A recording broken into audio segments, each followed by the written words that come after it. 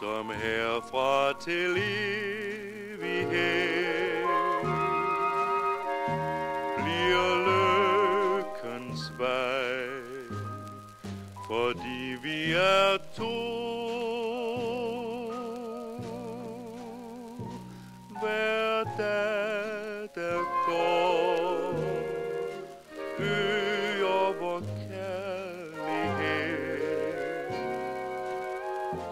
og styrker kun vor tillid og tro.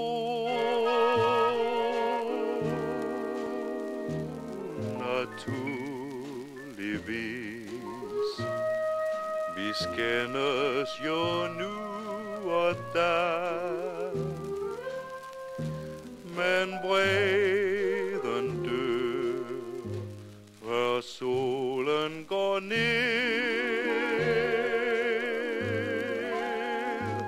hvad end der sker, så følges vi trofast dig. Så langt som herfra til evighed.